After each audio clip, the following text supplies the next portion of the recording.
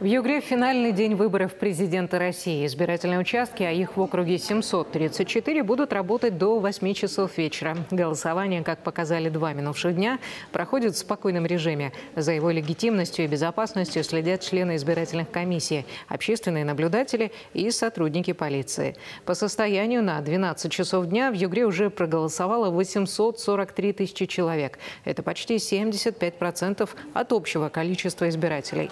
Жалоб и обращений не поступало. Мы рады, что такое количество наших э, ну, югорчан пришли на избирательный участок. Но, напоминаю, избирательные участки открыты. Они открыты сегодня до 20 часов. Э, мы ждем тех, кто еще по какой-то причине не подошел. Будем рады видеть. На всех участках стараемся создавать праздничную атмосферу. Нарушений законодательства со стороны избирательных комиссий в Югре нет. В региональном штабе общественного наблюдения рассказали, как прошел второй день выборов президента России. Активисты следят за ходом голосования в Центре общественного наблюдения в Ханты-Мансийске. Здесь на больших экранах идет прямая трансляция из муниципалитетов. Происходящее фиксируют полторы полтысячи камер. Напомню, в эти дни в Югре на участках работают 1789 наблюдателей. Общественники отмечают, что выборы проходят в спокойном формате, а югорчане проявляют высокую активность и гражданскую ответственность. Мы наблюдали за счастливыми теперь уже обладателями квартир, автомобилей, искренне радовались за наших избирателей, видели счастливые лица наших наблюдателей общественных с наших избирательных комиссий. А, они нам по-прежнему оперативно сообщали о ситуациях на избирательных участках. Нарушений в части работы участковых избирательных комиссий на данный час также не зафиксировано, как и в первый день голосования. Проголосовать югорчане могут даже находясь в больнице. Свое избирательное право реализовали уже порядка 300 пациентов. Для этого в стационарах УКБ Ханты-Мансийска работают члены участковой избирательной комиссии. Выбрать президента России могут не только пациенты, но и работники больницы, которые круглосуточно трудятся и не имеют возможности прийти на избирательный участок. По данным УКБ, за два дня выборов проголосовало больше двух с половиной тысяч сотрудников. Как организована процедура голосования в хирургии хирургическом отделении проверила уполномоченный по правам человека Наталья Стребкова. На сегодняшний день у меня члены мониторинговой рабочей группы работают э, по всему округу, и мы с ними в постоянном контакте в режиме онлайн обмениваемся информацией. До сей минуты не поступило ни одного, ни, одной, ни одного сведения о том, что чьи-то права были нарушены или было нарушено законодательство при процедуре голосования, как в помещении для голосования, так и вне помещений для голосования. У нас находится на лечении порядка 700 пациентов. Это не только пациенты круглосуточного стационара, это сопровождающие родители своих маленьких детей, либо сопровождающие инвалидов, какие-то родственники, либо социальные работники. Плюс некоторое количество наших пациентов находится на дневном стационаре и располагается в пансионате. Это более полутора сотни наших пациентов. Поэтому с окружным штабом, с городским штабом мы отработали все мероприятия для того, чтобы люди, находящиеся на лечении как на круглосуточном стационаре, так и на дневном, могли абсолютно спокойно реализовать свой гражданский долг и принять участие в выборах. Третий завершающий день голосования на выборах президента России стартовал сегодня также активно и бодро в Сургуте участковой избирательной комиссии. Сегодня работают и на выездных участках. Сейчас мы находимся здесь, в месте, где рождается счастье. Конечно, и о Центре охраны материнства и детства.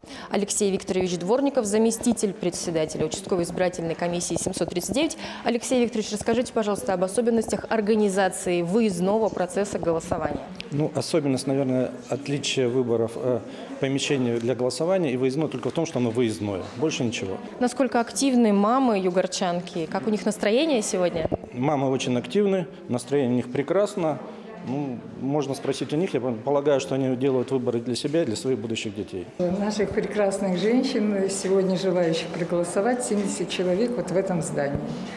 Это не только беременные роженицы и родильницы, это женщины, которые у нас получают лечение в других отделениях.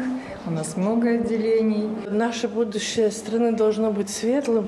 Э, с учетом, что у меня все мальчики, конечно же, чтобы в нашей стране был мир э, в первую очередь, потому что это, наверное, самое главное для матерей любых, э, любых поколений и любого возраста. Мы ответственны за... У нас есть дети, которые будут расти, развиваться в этой стране, и я думаю, что мы должны заботиться и о их будущем. Мы, получается, лежим, ну, как бы вынужденно, а к нам приходят, сами, сами пришли, предложили, и я уже не думала, куда мне идти, какие госуслуги, куда заполнять, что-то, что-то. То есть было все вообще предельно понятно. Очень, я очень обрадовалась, когда пришла девушка, мне предложила проголосовать. Стереотип, что в Центре охраны материнства и детства находятся только мамы, как раз-таки нет. Вот сегодня на избирательный участок пришел и папа. Дмитрий, здравствуйте. здравствуйте. Вы уже сделали свой выбор. Да. Расскажите, пожалуйста, всегда ходите на выборы? Конечно. Мы сами должны выбирать, кто должен править такой большой федерацией. А когда сказали, что можно проголосовать прямо здесь, вы как отнеслись к этому? Я сначала, когда мы шли сюда, э, была запланирована операция, Сначала переживал, думал, ну, на госуслугах проголосовать там как-то непонятно для меня это все. А потом, когда мне сказали, что можно так проголосовать, я прям был, обрадовался, доволен, да. Голосуют сегодня в Центре охраны материнства и детства особые пациенты. 5 марта вся Югра следила и поздравляла с рождением тройни жительницу Нефтеюганскую Мутрибу Аликулову. И сегодня она, конечно же, тоже пришла на избирательный участок в Центре охраны материнства и детства. Мутриба, здравствуйте. Я так понимаю, для вас это первое голосование в жизни в принципе, да? Да. Как назвали? Хасан, Хуса и Тахир. Так, как вам в статусе сразу многодетной мамы? Ну, мне нравится. За какую Россию сегодня голосуете вы, многодетная мама? За развивающую э, Россию. Я хочу, чтобы мои дети росли в мирном стране. Спасибо вам большое. Я еще напомню, что сегодня в завершающий день голосования можно до двух часов дня а, позвонить в участковую избирательную комиссию, если вы по каким-либо причинам не можете прийти на свой избирательный участок. И сегодня, если вы это сделаете, то до 20 часов вечера избирательная комиссия обязательно приедет к вам, и вы сможете исполнить свой гражданский долг. Ольга Придоха, Алексей Шахмаев, телеканал Югра, Сургут.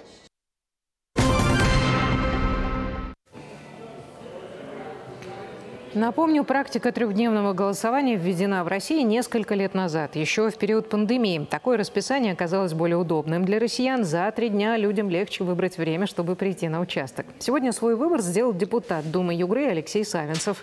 По словам парламентария, высокая явка делает голосование максимально прозрачным и честным. Вчера и позавчера проголосовало в разных городах 60-90% населения. То есть представляете, что если вы встанете с своих диванов, придете, проголосуете, то э, скорее всего, произойдет 95-100% э, населения придет на выборы. А в этих условиях мухлевать нельзя. И вы увидите э, самые легитимные и честные выборы в истории Ханты-Мансийского округа. Выборы в прифронтовом Донбассе не только большая организационная работа, но и риск для самих сотрудников избиркома. Округ пристально следит за ситуацией в Макеевке. Югра взяла шефство над городом, потому что ей не безразлична судьба наших людей. Сейчас они трудятся на участках, по которым многократно наносились артиллерийские удары, и риск не становится меньше.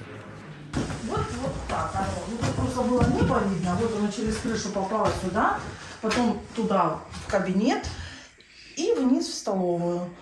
Это что попало? Ну, град попал. Град? Да. Библиотекарь Оксана одной из школ Черона в Гвардейском районе Макеевки рассказывает о своей не самой спокойной специальности во время войны.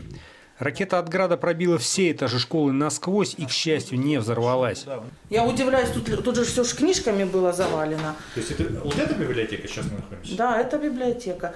Здесь были все время книжки лежали. И когда мы уже разбирали после завала, я удивилась, как вот там даже, ну как, некоторые бумажечки были чуть как подгоревшие, как не загорелось, и не сгорели все учебники новые для детские. Вот этому я удивилась. Записывали интервью еще в январе до взятия Авдеевки, откуда по району Гвардейки ВСУ били регулярно. Только в эту школу попало четыре раза. Книги, которые чудом уцелели, были поставлены в учебное заведение из Югры. Вообще вот этот район часто обстреливают? Очень часто. Вот, ну, сейчас немножечко вроде как, надеемся, чуть поутихло, но все равно прилетает, и в поля прилетает. Вот. Это обычный жилой микрорайон. Да. Да, тут же люди И здесь живут. объектов-то нет военных? Нет, здесь объектов военных нет. Какие-то тут школа, училище, магазины. Мы снова в школе, где сейчас действует один из 17 избирательных участков самого опасного района Макеевки. Идет голосование. В помещении уже тепло. С момента нашей последней съемки починили крышу, дали свет, сделали ремонт. Вот люди, которые работают здесь, вот, это смелые люди? Это самоотверженные, отважные и смелые люди. В основном это, конечно же, женщины. Э, Страшно говорить, но к этому они уже привыкли. И понимают, что работать всегда им приходится в экстремальных условиях. Ну, это реалии сегодняшнего дня. Как всегда, для наших женщин именно работа является неким успокоительным и релаксирующим средством. Вам чисто по-человечески это здесь не страшно находиться? Ну, э, как вам сказать? Ну, э, немножечко тревожность какая-то есть, но в связи э, как бы с э, объемом работы об этом ну, иногда забываешь. На Донбассе явка одна из самых высоких среди четырех новых территорий России. Вполне ожидаемо. Люди ждали 10 лет. Народ э, вообще идет на выборы? Да, да, да. Народ очень этого ждал решения, очень гордится этим, что у нас уже есть возможность принять участие в выборах президента Российской Федерации. И все идут при поднятом настроении, семьями, командами. И очень этому рада. Нам хочется наконец-то э, почувствовать себя гражданами э, большой страны. Э, И, ну, конечно же, это наше будущее, и мы надеемся, что оно будет светлым и хорошим. Виталий Сапрыкин, Курпун телекомпания «Югра» в Макеевке. Юные югорчане активно участвуют в викторине достижений Югры. Испытать свое везение пришел и школьник из Белого Яра Марк Шагин. Молодой человек прославился тем, что передал свой подарок президенту России. И вместе с губернатором округа Натальей Комаровой запустил эстафету рукопожатий, приуроченную Году народного сплочения в Югре. К викторине Шагины готовились основательно, всей семьей. Вместе изучили материалы на сайте, вместе отвечали на вопросы, вместе получали памятные подарки. Марк посоветовал всем своим сверстникам также принять участие в викторине. Я бы посоветовал, потому что подарки – это не главное, нужно набираться ума. Ума набираться. В Ханты-Мансийске построили Красный дракон. Это такой мост, который соединяет два берега от Иртыша. Понадобилось 12 тысяч тонн металла.